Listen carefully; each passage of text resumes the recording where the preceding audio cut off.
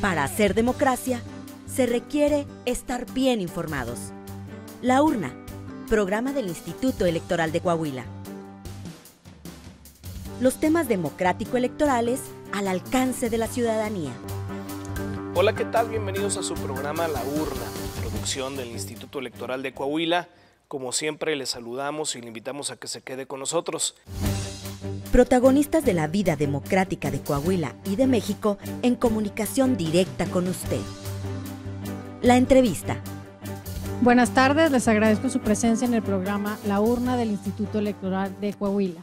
El día de hoy tenemos como invitados especiales a Cecilia Cardel Escamilla de la Asociación Civil Ver Contigo. Bienvenida, Ceci. Por este lado tenemos a María Elena Calderón Castillo de la Red de Mujeres de la Laguna. Buenas tardes. Gracias, por la invitación. Leticia González Berumen, consejera electoral del Distrito 06 en Coahuila. Buenas tardes, consejera. Buenas tardes a todos. Un placer estar aquí con ustedes. Y Edgar Martín Camarillo Gómez, activista del Grupo de la Diversidad Sexual. Hola, muchas gracias. Igual un gusto. Un gusto. Bienvenidos a, todos ya, ya todos. Eh, el tema del día de hoy serán los retos y desafíos de la inclusión desde la óptica de la sociedad civil. Como pregunta detonante para hablar sobre este tema de grupos en situación de vulnerabilidad desde la visión de sociedad civil, eh, les haría la primera pregunta. ¿Cómo se percibe el nivel de reclamos de los grupos históricamente marginados en la entidad en el tránsito de lograr mejores condiciones sociales, políticas y económicas?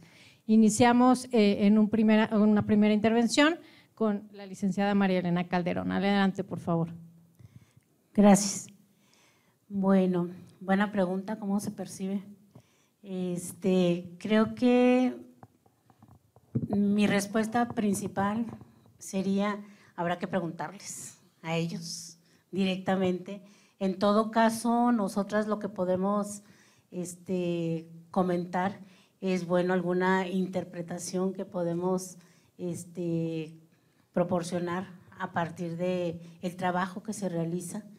Por supuesto que la percepción que tienen los diferentes grupos en el Estado pues es de exclusión y marginación de las políticas que se implementan en su beneficio, ya sean sociales, políticas, económicas.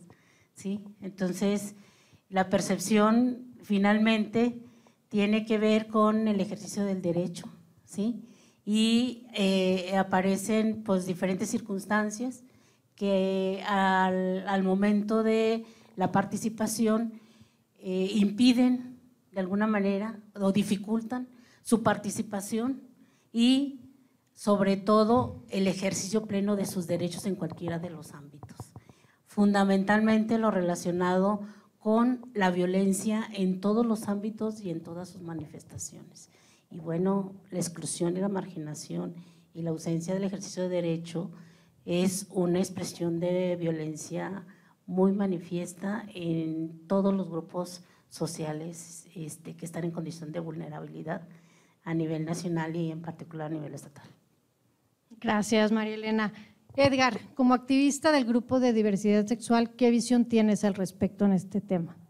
Este, bueno, buenas tardes. Eh, la visión que tenemos es básicamente pues lo que buscamos eh, marcha con marcha, año con año, el seguir siendo escuchados, el seguir este, teniendo una opinión, que esa opinión sea escuchada, que esa opinión se tome en cuenta. Sobre todo, eh, obviamente no es lo mismo hace tres años a como estamos ahorita.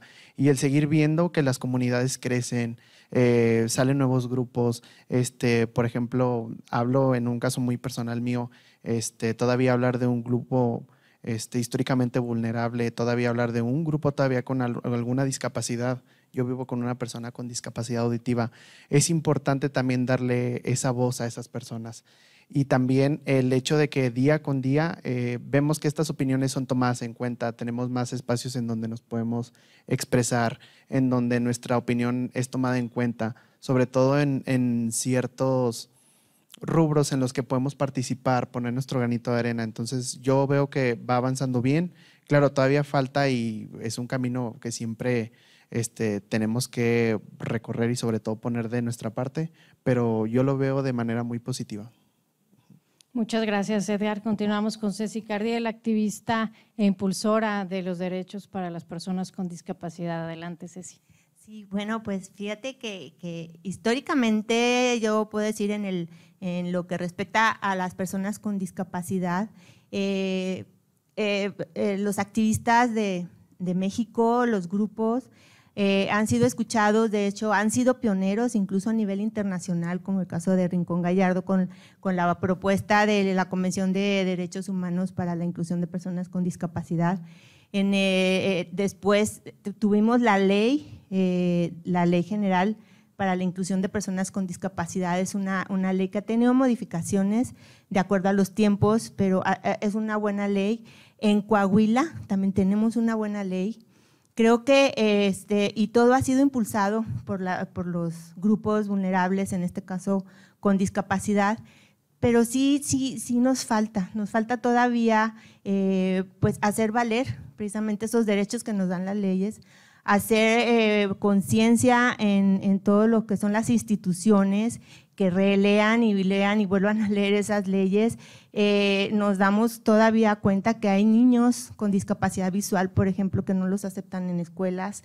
Eh, hemos ido con derechos humanos y, todavía sigue habiendo escuelas, tanto particulares como públicas, y, decimos, pues así, así como te actualizas en, en el SAT, por ejemplo, en la en la ley este, del impuesto sobre la renta, pues también te tienes que actualizar en derechos humanos, también te tienes que actualizar en todas las leyes con respecto a las personas con discapacidad. Eso es de lo que tenemos pendiente. Muchas gracias, Ceci. Y por último, bueno, continuamos con, con Leti González. ¿Cuál es tu opinión al respecto en este tema? Bueno, consejera, yo creo que abonando un poco a las respuestas que han dado las compañeras y el compañero, yo creo que estos reclamos que se reciben por parte de estas, estos sectores de la población que sienten cierta marginación, cierta exclusión, se ven de manera muy positiva, puesto que realmente es la forma en la que nos damos cuenta de las necesidades que tienen todas las ciudadanas y todos los ciudadanos desde su particular interés, desde su particular punto de vista y contexto social en el que viven. Entonces, pues es un compromiso por parte de nosotros como instituciones eh, públicas, como organismos electorales, el escuchar todos estos sentimientos, eh, propuestas que se tienen por parte de estos sectores, pero considero que algo muy importante es considerar que una crítica es positiva siempre que sea constructiva y siempre que esté acompañada con propuestas, porque también el atacar sin fundamento, el nada más buscar ver cosas negativas y, no tener realmente una propuesta, no tener realmente una idea de decir, no estoy de acuerdo con esto, pero lo podemos mejorar de esta manera, eso hace mucho daño. Entonces, yo creo que estos reclamos y, estas voces son recibidas de manera muy positiva, pero nada más exhortaría eh, a todos mis compañeros y compañeras a que lo hagamos de manera constructiva, de decir, esto me parece que es incorrecto, pero propongo que hagamos esto. Muy bien. Gracias por su participación y bueno, atendiendo a lo que han manifestado ya, a partir de su experiencia y realidad, ¿qué instancias y acciones deben coincidir para generar condiciones de igualdad en los rubros como educativo, laboral, legal, de salud o cultural? Empezamos, si quieres, con María Elena Calderón. Adelante, por favor. Bueno, ¿qué instancias tendrían que coincidir? Creo que dado que aborda diferentes ámbitos de la vida ¿sí? de los ciudadanos y las ciudadanas. Aquí involucra a todas las instituciones públicas, ¿sí? que implica una coordinación interinstitucional y complementaria. Este foro abre puertas para escuchar voces, ¿sí? Bueno, entonces Aquí, en este caso, no es solo las instituciones, sino también la sociedad civil. ¿sí? ¿Cómo puede jugar un papel de interlocución, de llevar voz a quienes no, no logran traer su voz hasta estos espacios para que esas instituciones puedan escuchar y puedan regresar hacia esos grupos con ya eh, soluciones muy concretas a sus problemáticas. ¿sí? No olvidar finalmente que hay una responsabilidad ¿sí? por parte del Estado de garantía del derecho y el respeto a la dignidad inherente al ser humano. Entonces, desde ahí ya hay responsabilidad de las instituciones para coordinarse y resolver las necesidades de estos grupos. Gracias, María Elena. Adelante, Ceci, por favor. Sí, mira, a mí, hay una palabra que se me hace muy significativa y eh, tuvo un tiempo en que se usó mucho, este, últimamente no lo he escuchado, pero creo que es lo que estamos haciendo ahora, que es la gobernanza. Sí, la gobernanza, pues estamos incluidos absolutamente todos, empresarios, comunidades eh, vulnerables, eh, comunidades educativas, instituciones electorales, instituciones los gobernantes que tenemos ahora, eh, la sociedad civil, por supuesto. Entonces, e, el, hecho de poder crear alianzas, de poder eh, crear espacios en donde no digamos que coincidimos, porque eso es lo, eso es lo padre de todo, que somos diversos, ¿sí? pero sí eh, poner nuestros puntos de vista y, y, todas nuestras propuestas para que se puedan ordenar y que dependiendo de la institución se hagan llegar a quienes se tienen que hacer llegar para que se puedan eh, eh, llegar a, una buena actividad, a una actividad positiva. Entonces, eh, pues somos todos, a final de cuentas, todos los que tenemos este, que intervenir para poder buscar el bienestar. Pienso que hay otra palabra que me encanta que es política, pero no política electoral, es la política como, como, como la naturaleza de la palabra, que es buscar el bienestar común. Entonces podemos hacer eh, política social, política partidista, política ambiental, política de... Entonces, eh, eh, eso es lo diverso, yo creo que es lo que nos hace únicos, pero coincidir en un punto para que pueda poder hacer actividades positivas, yo creo que es lo que estábamos haciendo precisamente hoy en este foro. Muy bien, gracias por tu respuesta. Vamos a hacer una pausa y continuamos con el programa La Urna del Instituto Electoral de Coahuila.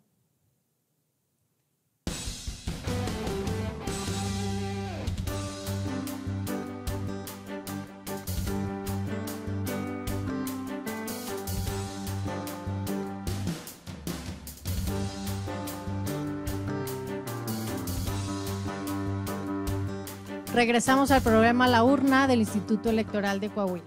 Como bien eh, comentaban nuestras invitadas, efectivamente se llevó un foro para la inclusión en el Estado de Coahuila, organizado por el Instituto Electoral de Coahuila en coordinación con el Tribunal Electoral y el Congreso del Estado. En este ejercicio de gobierno abierto se invitó precisamente a la ciudadanía y activistas para tocar este tema tan relevante que es los derechos políticos electorales de los grupos en situación de vulnerabilidad. Eh, cada uno de ustedes estuvieron en una mesa como expertos. Eh, la licenciada Calderón participó en la mesa de adultos mayores, Ceci en la mesa de discapacidad, Edgar estuvo participando en la mesa de diversidad sexual y Leticia en la mesa de juventudes.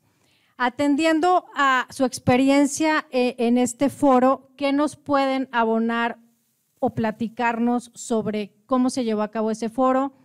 ¿Qué hicieron? ¿Qué aportaciones hubo? ¿Y qué resultados tuvieron? No sé quién quiera, eh, si quieres empezamos con Leti. Adelante, por favor. Sí, bueno, yo considero que la experiencia fue muy enriquecedora. Por su parte, en la mesa número cuatro, que es en la que estuvimos participando sobre la juventud, pues surgieron a la, conversación temas muy interesantes. Eh, se hizo una propuesta integral sobre tres ejes que deberían guiar, según los jóvenes que estábamos ahí participando, la inclusión de, de, la juventud en la política y en el ejercicio democrático. Y fue muy interesante cómo, basándonos en estos tres ejes que eran la confianza, la inclusión y la capacitación y, conocimiento sobre los procesos electorales y la democracia, fueron surgiendo propuestas específicas de cada uno de los jóvenes que estaban ahí. Entre lo más importante que se pudo destacar fue pues no perder de vista, por ejemplo, en temas de la educación, que las universidades luego se utilizan y que son excelentes medios para poder comunicar información sobre procesos electorales, democracia y demás, pero los mismos jóvenes participantes comentaban algo muy cierto, que es que no todos los jóvenes en México tienen acceso a una universidad. Vivimos en un país que lamentablemente tiene mucha desigualdad económica, desigualdad laboral, educativa. Entonces se basaron las propuestas en enfocarnos en esos sectores marginados y que realmente no no tienen la facilidad para acercarse al ejercicio democrático, como pues afortunadamente muchos de nosotros sí lo hemos tenido como un privilegio, ¿no? Entonces fue un ejercicio muy enriquecedor, las propuestas fueron concretas y, y realmente creo que es un espacio en el que podemos decir las cuestiones que nos gustaría mejorar y las propuestas para hacerlo. Gracias, Leti. Calderón, adelante con como experta y la, tu participación en la mesa de, de, adultos mayores en el Foro de Inclusión para el Estado de Coahuila. Bueno, en la mesa se colocó particularmente una preocupación que está relacionada con este, la, en términos estadísticos, ¿sí? La cantidad de crecimiento que va teniendo este grupo poblacional y que en la medida en que va creciendo también queda excluido ¿sí? de muchos ámbitos de participación, no solo en materia electoral, sino también laboral, social, porque por su edad ¿sí? ya no son incluidos ni considerados, ni incluso en la misma dinámica familiar, por ejemplo, que salía mucho ahí. Este, se colocó un punto como ejemplo este, en materia electoral, pues son los primeros que son excluidos a la hora de insacular, por ejemplo, porque el sistema de insaculación está diseñado de tal manera que a quien coloca en las mesas directivas de casilla es al que tiene un mayor nivel académico, ¿sí? Y entonces, si nos vamos a las poblaciones este, en, este, en este momento históricamente marginadas, como el caso de los adultos mayores, este rango de edad, muchos adultos mayores ni siquiera tienen acceso a, o, no, tienen acceso, pero tampoco los medios para acceder a este, los medios electrónicos, por ejemplo, a utilizar internet, no, lo, no saben, no, no saben usar una computadora. Y muchos de ellos ni siquiera alcanzaron a terminar, de terminar, a terminar estudios académicos. Y entonces, si no alcanzaron a hacer eso, cuando los insaculan, pues por supuesto no quedan elegidos porque no tienen ese nivel académico que el propio sistema de insaculación ya tiene incorporado. Entonces, ahí hay un, en primera instancia hay un, un asunto que ya los deja fuera de la participación y del ejercicio de un derecho político electoral, de ser parte de esa ciudadanía que puede contribuir en un proceso electoral, ¿sí? Y en una jornada electoral. ¿Por qué? por sus condiciones académicas y también por sus condiciones de edad, por supuesto. Aquí entra mucho lo que se ha venido abordando y se abordó mucho en, el, en ese foro con respecto a la interseccionalidad. ¿Sí? Porque aquí aparecería, por ejemplo, adultos mayores, hablamos en materia de género, es una mujer, una mujer adulta, ¿sí? una mujer indígena, pero además este, es de la diversidad sexual, pero además este, es discapacitada. Eh, eh, o sea, le vas agregando condiciones que la coloca todavía en mayor exclusión y discriminación. ¿sí? Entonces, este, esa situación apareció ahí y bueno, ahí fue parte de las conclusiones que, que quedaban, pero también un punto donde este, seguramente más adelante lo abordaremos, pero que este, preocupa a la hora de abrir espacios de participación y que luego se caiga en condiciones que finalmente los termina dejando excluidos, ¿sí? porque se encuentran maneras de, de colocarlos en lugares donde tendrían que aparecer en esta representación, ¿sí? Y los colocan en lugares donde históricamente los partidos pierden ¿sí? Y terminan quedando excluidos. Y entonces lo que se quería abordar y atender, pues termina generando de todas maneras exclusión, marginación y discriminación. Gracias, María Elena. Continuamos con Ceci Cardiel. Adelante, Ceci, por favor. Sí, Leti, fíjate que, pues sí surgieron eh, muchas ah, actividades, muchas... Eh, eh, sobre todo ya acciones concretas como es el protocolo para la actuación y, para poder propiciar la participación electoral de las personas con discapacidad y que pues va a depender de, de pues va a ser para el INE, va a ser para, para el eh, entonces, el hecho de que existe ese protocolo, pues habla de un avance. Hay que revisarlo porque apenas se, se está socializando, ¿verdad? Pero bueno, el hecho es que, eh, que ya está. Otra, otra acción que se comentó incluso en, en la mesa también de discapacidad es acerca pues, de cómo eh, se han participado los niños por medio de la consulta infantil y juvenil y donde como sociedad civil hemos hecho propuestas, pues como, como el INE nos, en el 2015 nos, nos decía, hoy pueden participar, nos pueden ayudar para, para poder este, promover la participación pues sí, nada más dame las boletas, eh, eh, las preguntas en braille para que los niños las contesten. O oh, no, no, las, no, no, no, las tenemos. Bueno, ¿qué te parece? Como bien decías, consejera, este, si te proponemos nosotros cómo debe de ir, el tamaño de letra para visión baja, eh, los puntos, etcétera, etcétera, hicimos una propuesta y se quedó y fue a partir de, Coahuila, a partir de, de, la sociedad civil que se, quedaron esas boletas. Sin embargo, eh, a nivel nacional, todavía hay vacíos. Por ejemplo, nos dimos cuenta que aquí en Coahuila sí se respetó mucho para que los niños pudieran leer en braille y contestar en braille, pero en otras partes de la República hicieron los cuestionarios de forma que los niños no podían leer el braille, que estaba en braille, pero no, y no podían contestar en braille. Entonces, ¿dónde está la autonomía? ¿Dónde está la inclusión? A veces es nada más querer, mira, sí la hice, mira, sí justificó el presupuesto, perdón, pero es que la verdad sí lo sentimos. Y, este, y, cuando debemos de ponerlos en los zapatos del niño, de la niña, del joven, ¿qué sientes? ¿Qué quieres? ¿Qué te gusta?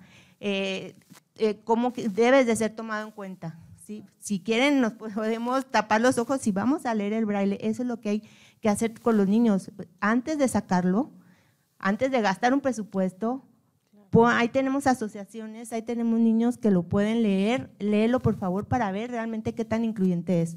Entonces, esto es un ejemplo de cómo deberían de ser todas las actividades, todos los ejercicios.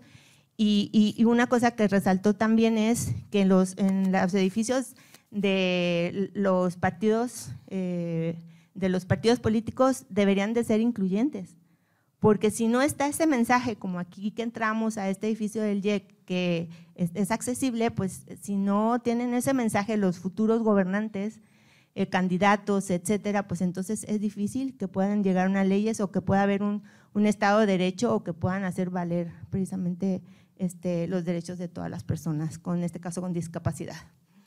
Sí, muchas gracias, Ceci. Efectivamente, creo que este es un claro ejemplo de la importancia de trabajar en gobierno abierto, ¿no? Instituciones y sociedad civil y ciudadanía de la mano. Eh, lo que mencionas de la consulta infantil y juvenil, que tomaron en cuenta eh, la participación de, ustedes que conocen de manera directa las cuestiones de, de las personas con discapacidad e implementarlo de esa manera en las boletas para llevar a cabo la consulta infantil. Creo que es un claro ejemplo de que autoridades y ciudadanía tenemos que trabajar de manera conjunta. Muchas gracias, Ceci. Por último, Edgar, estuviste siguiendo las mesas y participando en la mesa de diversidad sexual en el Foro para la Inclusión de Coahuila. ¿Qué nos puedes comentar al respecto? Bueno, a mí en, lo personal lo que más me gusta de estos foros es que se ponen los temas en la mesa. Se ponen temas que a lo mejor no, no contemplamos o a lo mejor damos por hecho de que ya se tocaron o ya están en la, pues bueno, ya, ya, es un tema público abierto a lo mejor que, que, muchas personas conocen, pero siguen surgiendo temas, se siguen poniendo temas en la mesa, se sigue este, dando a conocer la diversidad sexual, este, la inclusión de las personas con, discapacidad, con discapacidad, perdón, la, la inclusión de las personas eh, mayores.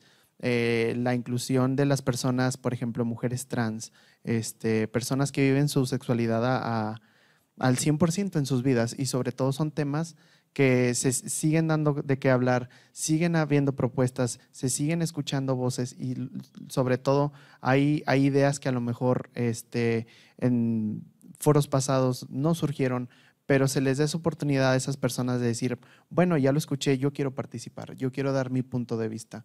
Yo a lo mejor puede ser un comentario, a lo mejor puedo plantear una pregunta, pero esa pregunta ya empieza a mover en la cabeza de las personas, ya empieza a generar o ya da una semilla a decir, sí es cierto, o sea, a lo mejor se me va pasando, pero tienes razón y vas, vas, va fluyendo la información, va surgiendo la comunicación y eso es lo más importante, el, seguir generando estos, estos espacios, eh, espacios abiertos y sobre todo poner los temas en la mesa. Muchas gracias, Edgar. Bueno, no me queda más que agradecerle a María Elena, a Cecilia, Leticia y Edgar su participación en el programa La Urna del Instituto Electoral de Coahuila. Muchas gracias. Gracias, buenas tardes. Gracias.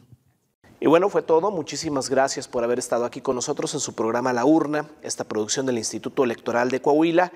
Nos puede seguir también en redes sociales, en Facebook como la urna.programa radiofónico del IEC, en Instagram programa-radiofónico y en Twitter la urna-IEC. Queremos tener comunicación con usted. Pásenla muy bien. Hasta la próxima semana. Gracias por acompañarnos en una emisión más de La Urna, llevado hasta ustedes por el Instituto Electoral de Coahuila. Nos escuchamos en nuestra próxima emisión.